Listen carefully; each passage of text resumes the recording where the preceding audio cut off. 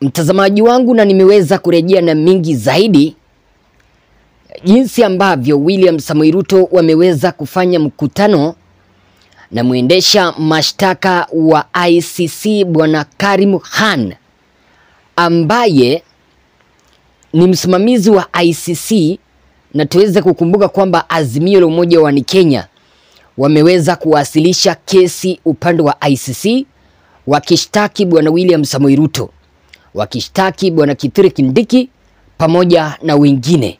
Niko na details nyingi zaidi, nataka tuweze kujadili.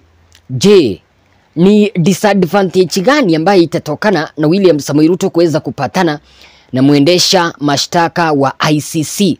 Na wewe mtazamaji wangu, ningependa uweze kunipea maoni yako kabla hujaanza kukomenti Kila ambacho nakuomba, tafadhali chukua sekunde yako moja uweze kupiga subscription, kwa sababu hichi ndicho kituo chako nambari moja cha Kenyan Media ambacho kinakusogezea matukio ambayo ni legit, ambayo yameweza kuhakikiwa. Mtazamaji wangu, kile ambacho nakuomba, tafadhali piga subscription. Kutoka kwa subscription hapo kando kuna penye wamekuambia, wamekuambia turn on notification bell, alafu geukie mkono wa kushoto, tafadhali uweze kulike video kisha ukitaka watu wengi waweze kujua kwamba bwana William Samoei Ruto waliweza kufanya mkutano na mwendesha mashtaka wa ICC wa kisiri wa zaidi ya masaa mawili, tafadhali share share to many more groups as you can, ili Wakenya ifikapo kipindi ambapo hatutaweza kupata haki kutoka ICC, I think utakuwa mtu mwenye ujumbe kutokana na hii video. Jina langu ni Mr. Ego 8 kipindi ambapo natujuza, tafadhali uh, tufahamishe eneo ambalo upo. Kama ni nchini Kenya, tuambie mkoa wako. Kama ni upande wa nje ya taifa la Kenya, tafadhali tujuze. Mada yetu jinsi ambavyo unaona hapo juu, details of President William Samoei Ruto is two hours meeting with ICC prosecutor Karim Khan at State House. Umeweza kuona mtazamaji wangu, information habari zimeweza kutolewa jinsi ambavyo bwana William Samoei Ruto waliweza kuketi chini na mwendesha mashtaka wa ICC bwana Karim kuweza kuzungumza na iweze kukumbuka kwamba Azimio la Umoja wa Kenya wameweza kuwasilisha kesi kule. Bila shaka unajua Wakenya ambao waliweza uh, kuumizwa pamoja na wale ambao familia zao ziliweza kuuawa bila shaka unajua watahisi kwamba wameweza kusalitiwa. Kwa sababu gani? Hakuna haja Kenya iwasilishe kesi alafu penye wameweza kushtaki uweze kupata prosecutor yupo na Ruto.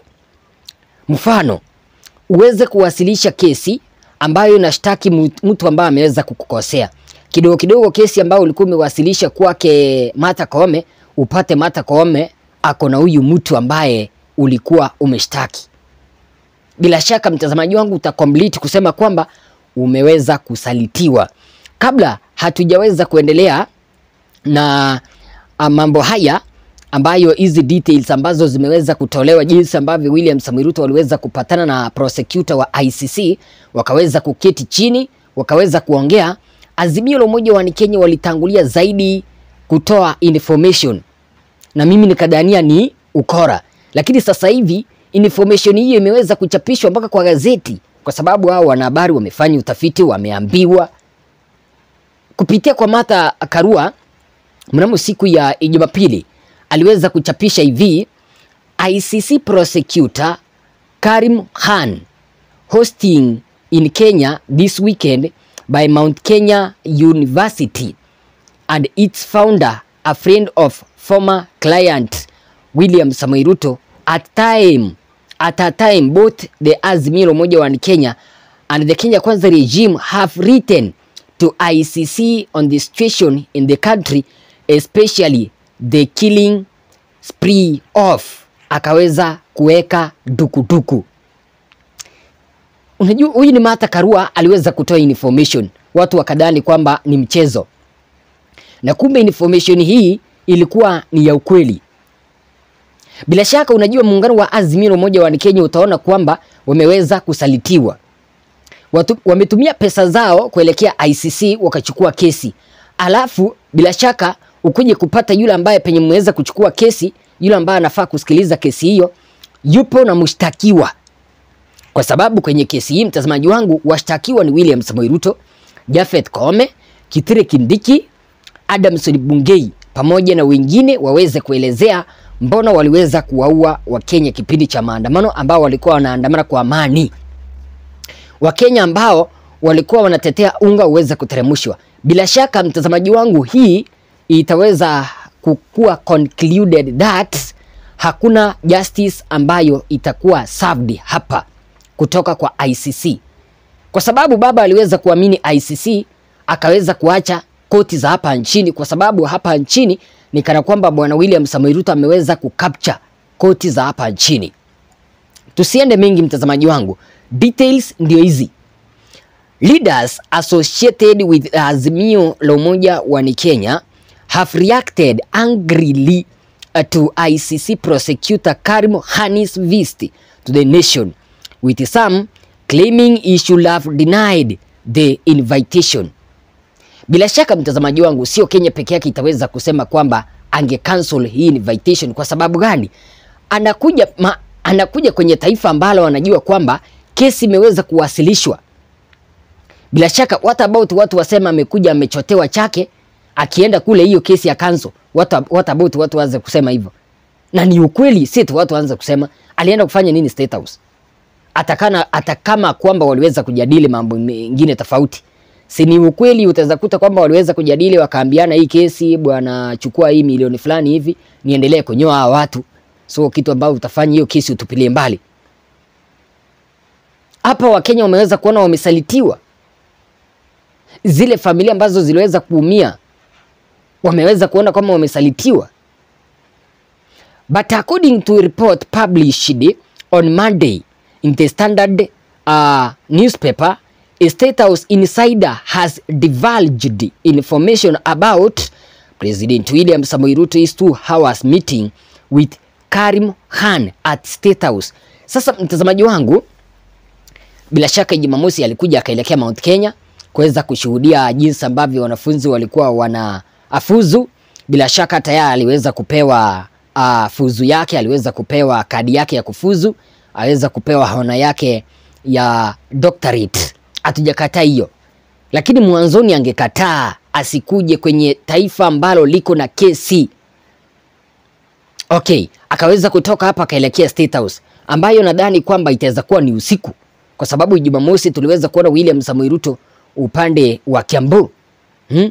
wakaketi chini for two hours. Hata kama kwamba mtazamaji wangu, hata kana kwamba walikuwa wanazungumzia masuala mengine tofauti, for two good hours mnazungumzia nini? Si hiyo ni kana kwamba wanawa waliweza kuzungumzia masuala ambayo walikuwa wanataka kuzungumzia, wana wengine wakaweza kuzungumzia kesi ambayo, ikawe, ili, ambayo iliweza kuchukuliwa upande wa ICC. Hiyo ni ukweli, information ndio hii mtazamaji wangu. Kulingana na gazeti la The Standard liliweza kusema hivi, the NARC Kenya leaders remarks came as it emerged that President William Samoei Ruto met with Karim for two hours at State House where a source told the Standard they discussed uh, political instability and violence in Sudan, the Democratic Republic of Congo, and the global issues including the Ukraine-Russia war. Sasa Bwana William Samoei Ruto anajadili masuala ya Ukraine Russia war ya nini? Itamsaidia nini? Kipindi ambapo wana discuss Ukraine na Russia, Russia yenyewe ina donate mbolea kuja hapa nchini badala ya kuweza kuwapea Wakenya, anaamua kuwanyanyasa. Wana discuss masuala ya Sudan kipindi ambapo yeye ameweza kufukuzwa kutoka Sudan. Sasa wana discuss nini? Wana discuss masuala ya Kongo, mahala ambapo KDF wenyewe wameenda kuua wananchi ambao wana uh, wanaandamana, wananchi ambao wanafanya masuala yao kwa amani. Juzi hivi tuliweza kuona kanda, mtazamaji wangu, ikitaka kwamba maafisa hao waweze kuondoka upande huo, waweze kuondoka upande wa Kongo, eti kwamba wanawaua wanawaua wananchi wa huko. Maafisa wanaua wa Kenya hapa nchini, wanaelekea mpaka Kongo, alafu nasikia bwana Ruto wana discuss na Karim kuhusiana na Kongo, kuhusiana na Sudan, kuhusiana na Russia ya hapa nchini hawawezi wakatuambia kwamba waliweza kudiscuss. Mpaka kipindi United Nation imeweza kutoa ripoti kwamba watu zaidi ya ishirini na tatu waliweza kuuawa. Nikiweza kunukuu chapisho la The Standard, the president and the ICC prosecutor discussed a number of issues, lakini ya Kenya wawezi wakasema kuhusiana na kesi ambayo iliweza kuwasilishwa na baba including the instability and violence in Sudan, the DRC and the global issues including the Ukraine-Russia war and they took uh, stock of the need for global peace and stability, said the source. William Samoei Ruto anataka amani iweze kupatikana uh, Ukraine ama iweze kupatikana Sudan, Congo, lakini kipindi kwake ameweza kuchafua, kipindi kwake ameweza kunukisha amewaua waandamanaji, anatuma maafisa wa polisi kwenda kufanya nini? Kwenda kutoa watu upande wa Kisumu kwa nyumba, wanawaua watu upande wa Migori, watu upande wa Siaya wanawaua, lakini mambo ya nchi zingine ndiye ana discuss. Mweza kuona mtazamaji wangu, mambo ya nchi zingine ndiye ana discuss ha? Chapisho hilo likaendelea hivi. The source claims that the head of the state Karim Khan in the state house uh, the source The source claims that the head of state hosted Karim Khan in the state house where they spoke about the ongoing conflict between Russia, Ukraine, mambo mengine eh, mengi zaidi. The two also discussed the, the necessity of promoting stability and peace throughout Africa and the entire world. Just today, President William Samoei Ruto held a special meeting at State House where he welcomed Karim Khan. Mtazamaji wangu, huyu anataka kujifanya mzuri kuelekea kwa mataifa ya nje. Kipindi kwake anatumia maneno kama vile tutawasafirisha, tutasafirisha mzee wa kitendawili mpaka Bondo. Anarejelea baba kiongozi ambaye anaheshimika Ha? Hivi juzi tena nimesikia Kimani Ichungwa akisomea baba, mtoto mdogo wa siasa anasomea baba. Mtoto mdogo anafaa kuwa ni heshima. Eh, unataka kuniambia nini mtazamaji wangu? Eh, eh, eh, eh, tuambiane tu ukweli. Eh, eh, tuambiane tu ukweli. Walikuwa wanajadili nini? Haya si mambo yetu Kenyan Media tuna cook. Haya ni mambo ambayo yameweza kutolewa na kituo cha The Standard newspaper siku ya Jumatatu tarehe saba uh, Agasti, pamoja na yakaweza kutolewa na Martha Karua. Haya si mambo yetu tunakula. Ni kitu gani hichi ambacho walikuwa wanajadili cha maana ambacho uh, hata peji yake upande wa Facebook hakuweza kupost it kwamba wameweza kupatana na bwana Karim Khan, lakini vitu zingine wakipatana na watu wengine hapa tunaona mapicha zikitembea, lakini ya bwana Karim Khan hawezi akaonyesha, kwa sababu watu watajua kwamba wameweza kupatana na yeye. Bila shaka kesi ambayo imeweza kuchukuliwa upande mwingine itaweza kupata justice. Si ni hii ishara kwamba aliweza kuhongwa? Eh, eh, mtazamaji wangu, ningependa uweze kunipea maoni yako. Je, ni vizuri mwendesha mashtaka wa ICC kuweza kupatana State House na William Samoei Ruto kipindi ambapo kesi ambayo iliweza kuwasilishwa ICC inamhusisha ama inamshtaki William Ruto, uh, bwana Kithure Kindiki, uh, tukikuja Moses Kuria, tukikuja Adamson Bungei, tukikuja na Japhet Koome kwa kuweza kufanya kitu ambacho kinaita, uh, kinasemekana kwamba waliweza kuwaua Wakenya, waliweza kwenda against na human rights, kuweza kuwaua Wakenya. Huu unaona ni vizuri kweli? Mimi kwa upande wangu sijaridhika na hiyo kesi. Mimi naona kwamba Kenya haitaenda kupata justice, Raila hataenda kupata justice.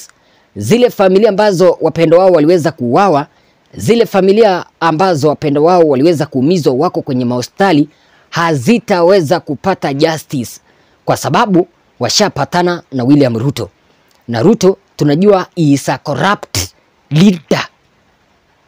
Kama anaonga Martha Ka- Martha Koome, anaamua kwamba yeye ndiye ameelektiwa, unataka kuniambia wezi akaonga ICC prosecutor, na ile ndio mahakama kubwa zaidi. Tusemezane tu ukweli, mtazamaji wangu, kwani hiyo ni kumaanisha wezi akaonga eh? Na tunajua kwamba bwana William Samoei Ruto anapenda rushwa zaidi, anapenda rushwa, kuhongana. Ingekuwa ni vizuri kabisa. Je, wewe umeweza kuchukuliaje hii information ya kwamba William Ruto waliweza kuketi chini venye nimeketi hapa kwa kiti, wakaketi na Karim Khan for two hours.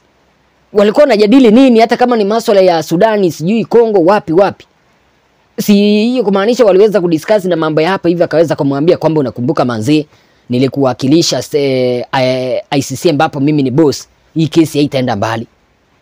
Ingekuwa ni vizuri uweze kutoa mchango wako wa maoni na kila ambacho nakuomba, tafadhali usikose kupiga subscription, maanake subscription yako moja mbili tatu zitakuwa zimechangia kwenye ukuaji wa kituo hichi nambari moja. Narejea na mengi zaidi. Jina langu ni Mr. Igo 8.